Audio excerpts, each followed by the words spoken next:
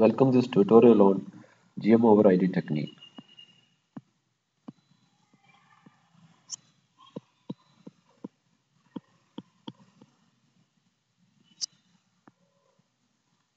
Before moving to GM over ID technique, let us discuss what is wrong with our conventional design technique.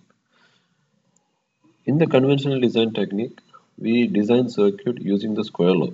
That is, we know the famous equation most current ID equal to mu COX into W by L into VGS minus VT whole square by 2.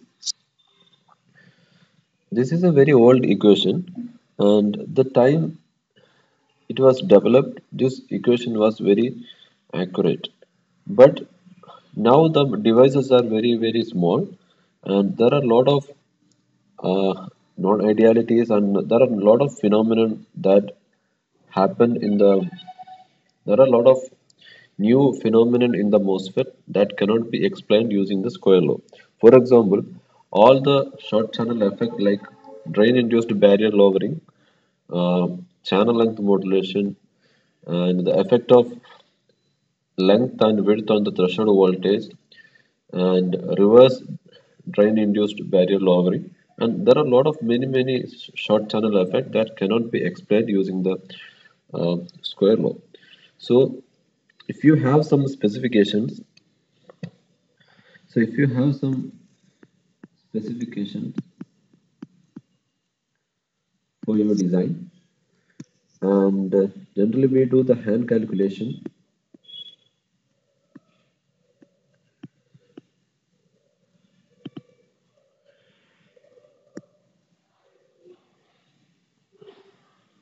generally we do the hand calculation before going to the simulator. And once we once we got the values of hand calculation we will design our circuit. And we'll put that circuit into some simulator like cadence or spice. And we will get the result. But the problem here is for the hand calculation we use the square law.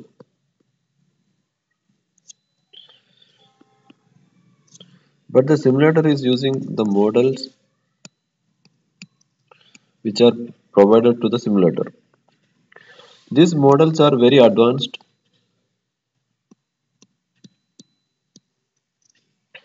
And they are very accurate. And they include all the short channel effect. But the, our old square law doesn't include any of the short channel effect and it is not accurate. So this doesn't match. So our square law and this models doesn't match. So whatever we calculated is not accurate so that our specification and the result also doesn't match. So so the designers thought about a technique, thought about a thought about a design procedure, which includes uh, the short channel effect and all the other new phenomena. So GM over ID technique is one of those one of those technique uh, which uh, in, which considers the non which considers the short channel effect also into picture. So in the GM over, over ID technique, our uh, design flow will be we will have the specifications and we will do the hand calculation.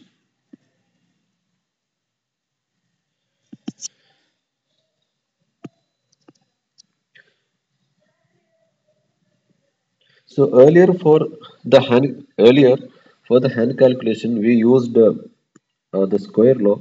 But here instead of square law we will use some uh, tables or plots for the hand calculation and we will generate these tables and plots from the model which is very accurate. Which is very advanced and accurate and which contains all the information regarding the short channel effect.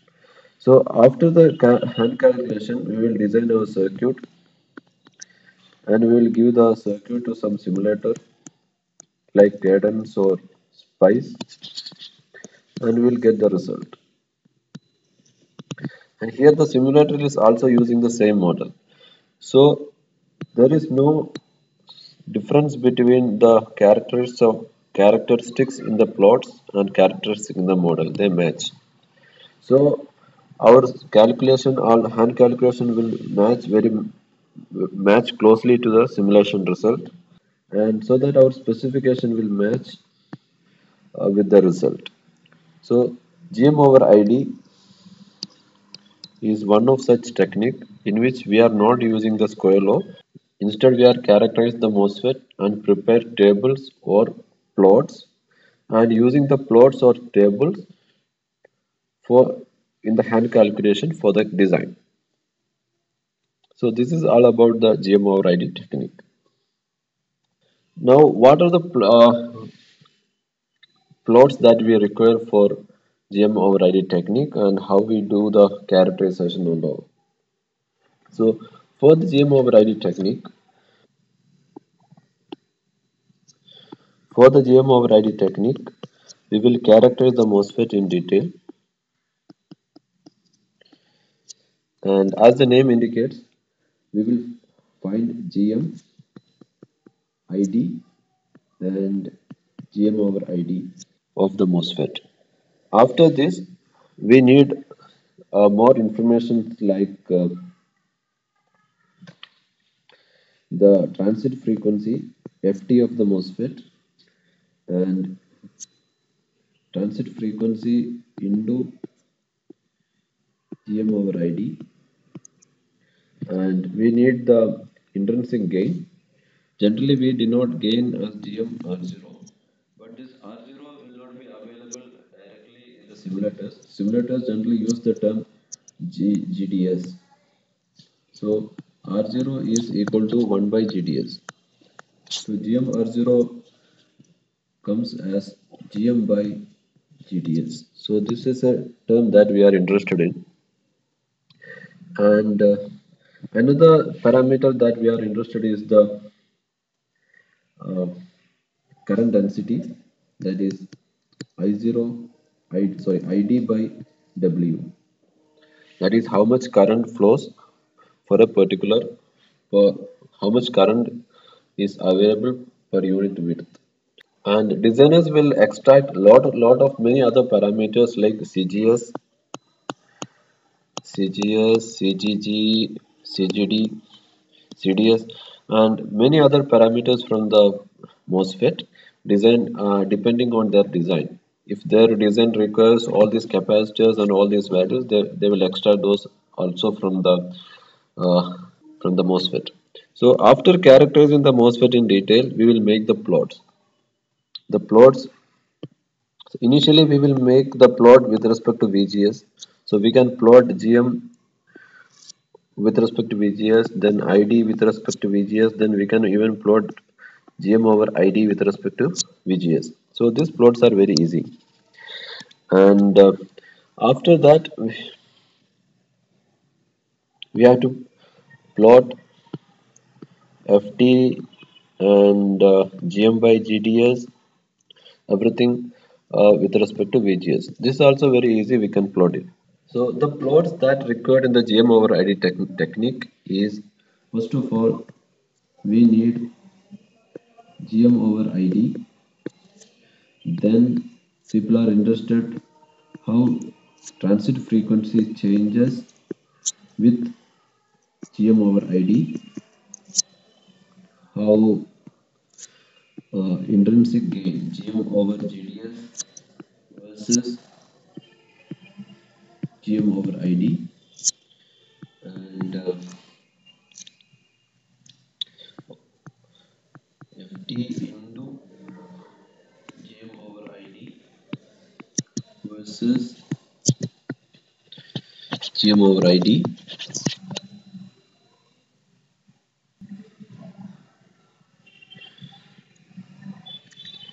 and the fifth parameter is id by w that is the current density versus gm over id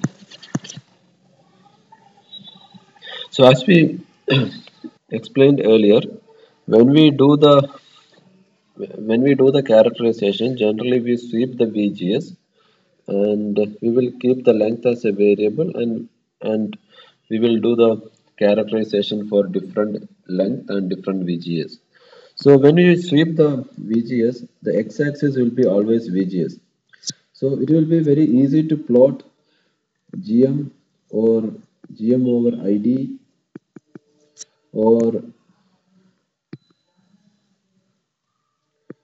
for ft with respect to vgs it will be very easy. We can directly plot in uh, we can directly plot from the cadence. But the gm over id technique require all the plot with respect to gm over id so we need ft with respect to gm over id we need ft into gm over id uh, with respect to gm over id and after that we need gm over gds with respect to gm over, gm over id and uh, id by w with respect to gm over id so all the plots in the gm over id technique we need the x-axis as gm over id it is so it is not easy to plot the parameters with respect to gm over id directly in cadence it is possible in cadence. It is it is not impossible in cadence. It is possible but it is a little bit difficult. It is not straightforward to plot these parameters uh, with respect to gm over id in cadence. So this tutorial is organized as in the first tutorial we will characterize the MOSFET and we will save the parameters that we are interested so those parameters are gm id gm over id ft gds and we need gm over gds and many other parameters as as we interested.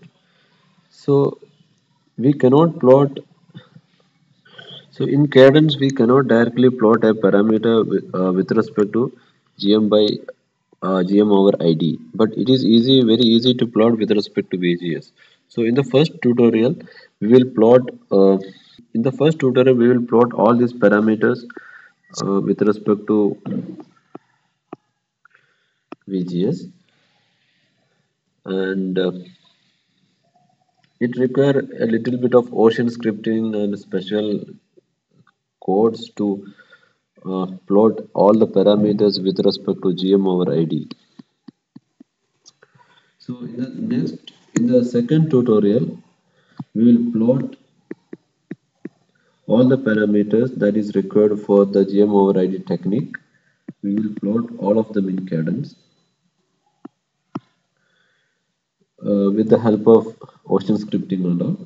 In the third tutorial, we will plot them in MATLAB. So in the first tutorial, we will collect all the data and we will save the data as a file. And in the third tutorial, in, we will use the file and we will read the file and plot all the parameters uh, in MATLAB. And if you don't like MATLAB, you can directly plot them in Cadence using our second tutorial. So in the fourth tutorial, uh, we will inter interpret the data. In the fourth tutorial, we will interpret the simulation result or the plot.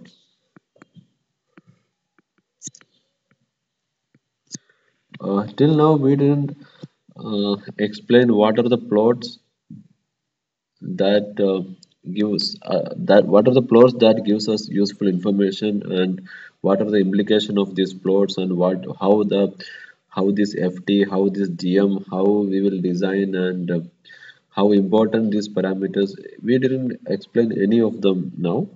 Uh, but all of them we will interpret all the all the plots and all the, the data we will interpret in our fourth tutorial. And in the fifth tutorial we will do some simple examples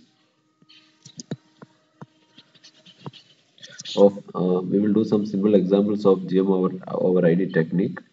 And uh, in future we will do more examples.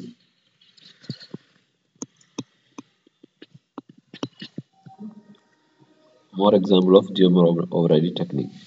So let us go to cadence and do the characterization of MOSFET and uh, save all these parameters so that we can plot them in cadence or MATLAB